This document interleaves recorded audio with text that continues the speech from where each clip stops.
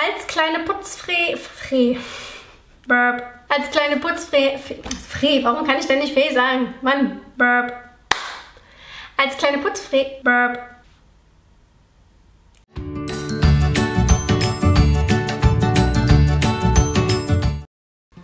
Hallo ihr Lieben! Draußen ist das Wetter noch irgendwie ganz grau und kalt und bäh.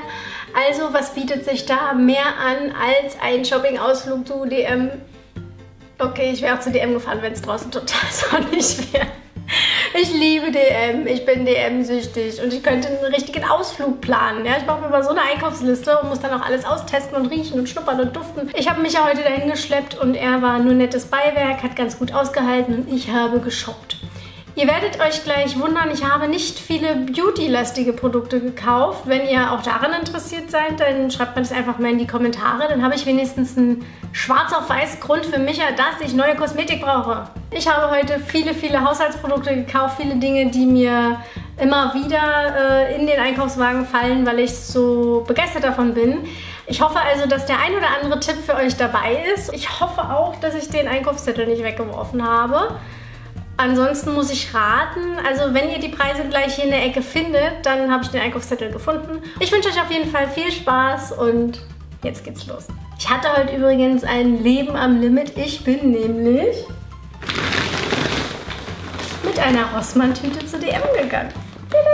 Aber die Verkäuferin hat sich nicht daran gestört. Sie hat es mir sogar bestätigt, dass es nicht schlimm ist. Nein, wundert euch bitte nicht, ich kaufe einfach immer zu viele solcher Tüten und irgendwie braucht man sie dann nie. Und jetzt habe ich mir angewöhnt, immer so eine Tüte dabei zu haben und wir haben die immer im Auto und dann kann es eben auch mal vorkommen, dass man mit so einer hässlichen Rossmann-Tüte, die ist echt hässlich, so einer hässlichen Rossmann-Tüte mit Hundefutterwerbung drauf zu DM geht. Als allererstes habe ich zwei Taschentücherpackungen gekauft. Die sind immer praktisch, die braucht man immer einmal für zu Hause und einmal für die Kita. Für die Kita ein bisschen größeres Pack. Dort ist es nämlich so, dass wir alle drei Monate einmal Taschentücher und Feuchttücher mitbringen müssen, weil die Kinder das quasi alles aus einem Pott nutzen. Das heißt, jeder bringt mal was mit und wenn dann mal was leer geht, ist es nicht so schlimm, weil wir dann irgendwie vergessen haben, was einzukaufen oder so. Von daher ich mag die Regelung sehr gerne, deswegen kaufe ich da immer so ein großes Pack und auch Feuchttücher. Ja, ne? das sind auch die, die jetzt gleich in die Kita gehen dann. Ist von Baby Love die Eigenmarke. Für zu Hause benutzen wir mal Penaten, weil ich den Duft so mag.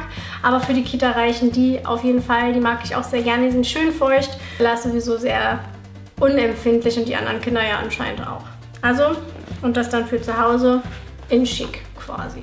Ne? Taschentücher braucht man immer.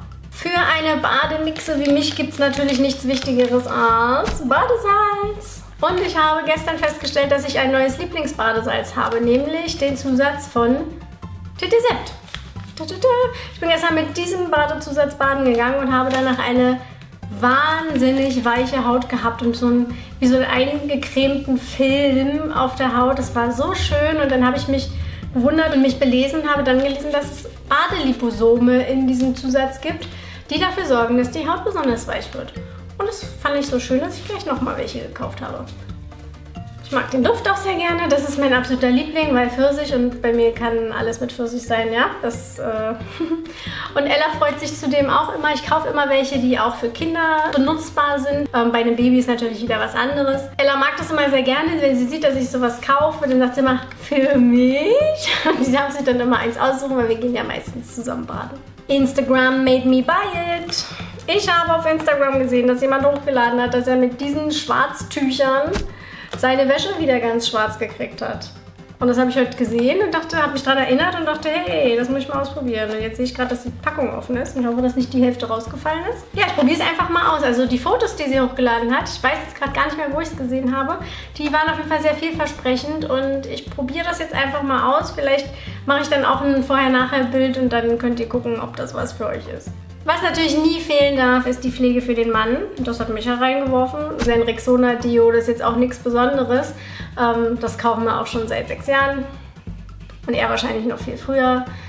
Kann ich jetzt nicht so viel zu sagen. Für mich durfte es dann noch eine Mundspülung sein. Und ja, ganz ehrlich, ich sehe die Farben natürlich und muss es einfach haben. Es ist von Perlweiß und ich weiß gar nicht, was es kann. Äh, Verfärbungen vermeiden etc. pp. Und dann kann man das schütteln und dann wird so eine ganz tolle Farbe daraus und es sieht aus wie so ein Zaubertrank. Ich finde es ganz toll. Ich glaube, es ist maßlos teuer gewesen. Aber ich habe es einfach eingepackt, weil ich die Farben so schön fand und ich bin einfach ein Verpackungsopfer, was das angeht. Und für mich gab es dann nur die ganz billige Variante von Dotodent. Aber die ist auch sehr gut. Die habe ich vorher auch verwendet. Die finde ich übrigens richtig toll. Die ist sehr, sehr günstig, sehr, sehr effektiv. Es geht bei uns auch immer weg, weil das benutzen wir so zwischendurch immer. Ich mag das.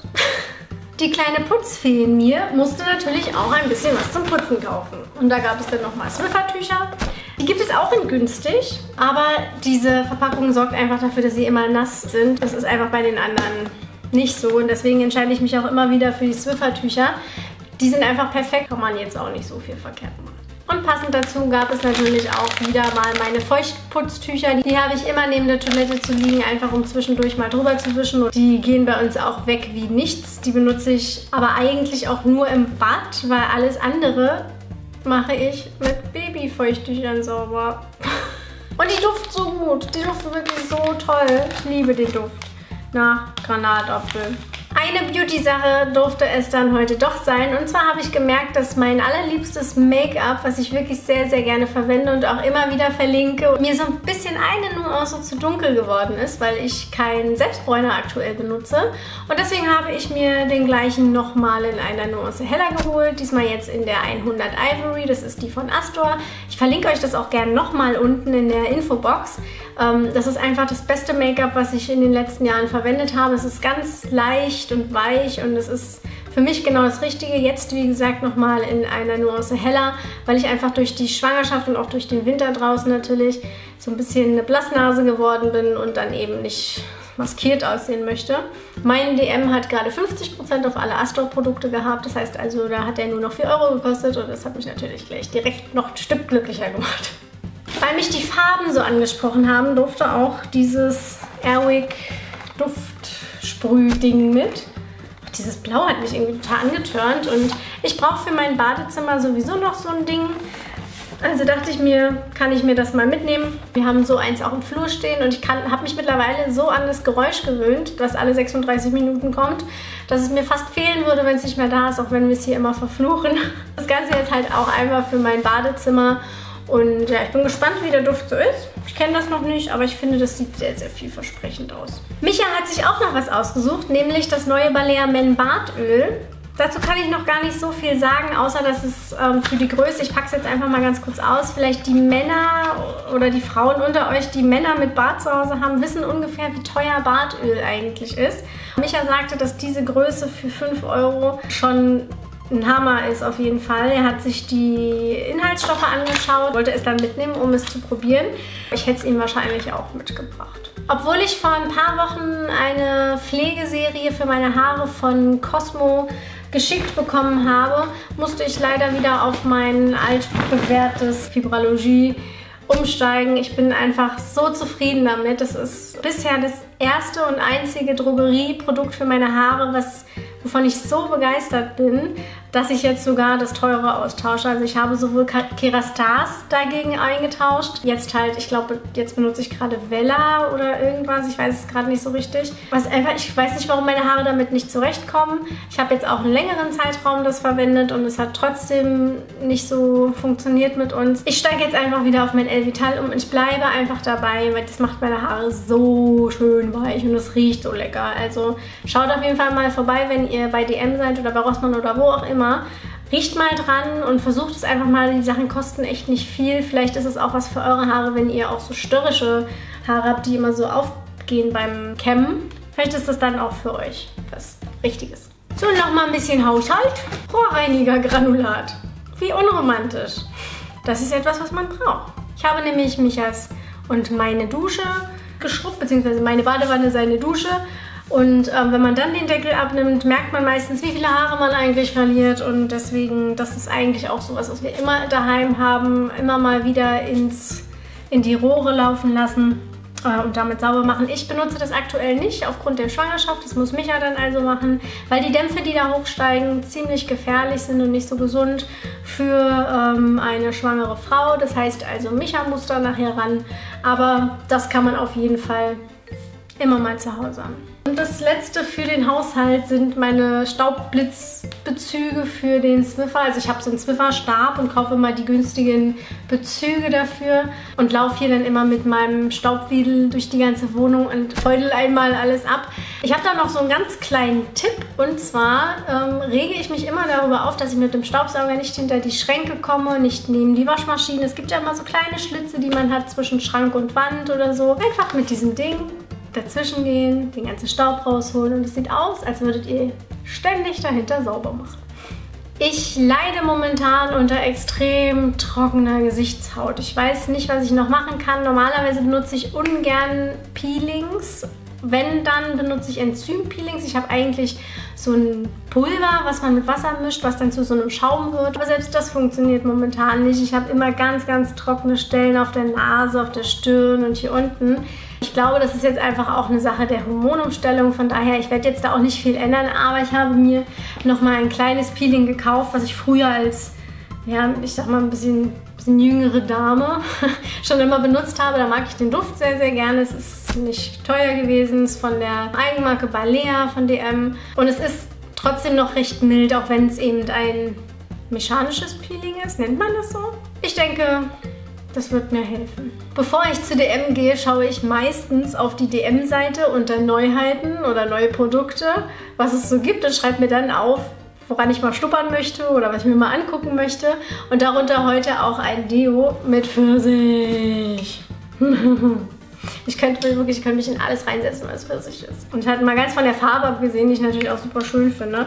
Ähm, riecht es einfach nach Pfirsich. Aber nach einem, nach, nicht nach so einem süßen Pfirsich, sondern nach einem Darf Pfirsich. Ich finde das sehr, sehr schön. Das habe ich mir auch gleich mitgenommen, obwohl ich gerade eigentlich noch eins in Verwendung habe und eigentlich meine ganzen Deos mal aufbrauchen wollte. Es waren doch noch nicht alle Produkte. Ich habe das Allerwichtigste vergessen. Das Basic, was jeder zu Hause hat. Du, du, du, Klopapier. ja, auch wir benutzen Klopapier. Ähm, ganz normales dreilagiges. Ich erwische mich immer wieder dabei, wie ich eigentlich teures Klopapier kaufen möchte, weil es entweder schön bedruckt ist oder toll riecht, aber es ist eigentlich so sinnlos. Ich glaube, mehr brauche ich darüber auch nicht erzählen. Und jetzt sind wir tatsächlich am Ende angekommen. Das waren alle Produkte, die wir heute in unserem Einkaufskorb hatten. Sie sind jetzt hier so verteilt. Ihr seht es nicht, aber ich muss jetzt gleich erstmal aufräumen und alles wegräumen. Ich hoffe, mein kleiner Haul hat euch gefallen. Wenn ihr irgendwelche Fragen zu irgendwelchen Produkten habt oder wenn ihr auf dem Laufenden bleiben wollt, was zum Beispiel die Schwarzfärbetücher angeht, dann lasst es mich einfach mal wissen. Dann weiß ich, ähm, dass ich darauf nochmal eingehen kann. Und ansonsten erzählt mir auf jeden Fall, ob ihr an mehr solcher Videos interessiert seid, wollt ihr wissen, was wir einkaufen, wollt ihr wissen, was wir in unserem Haushalt benutzen oder was wir in unserem Alltag einfach brauchen, dann ähm, erzählt es uns einfach. Dann möchte ich mich jetzt mal höflich verabschieden. Ich freue mich, dass ihr wieder dabei wart und wir sehen uns auf jeden Fall bei einem der nächsten Videos. Bis dann!